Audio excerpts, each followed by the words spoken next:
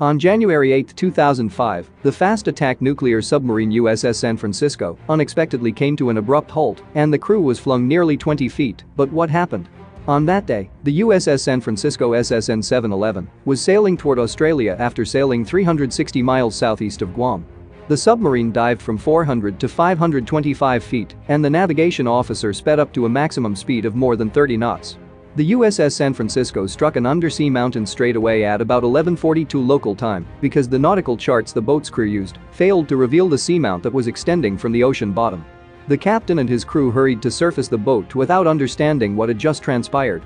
Damage management later confirmed that the USS San Francisco's inner hull was unhurt, its Mark 48 torpedoes and Tomahawk cruise missiles were unaffected, and astonishingly, its nuclear reactor was fully untouched.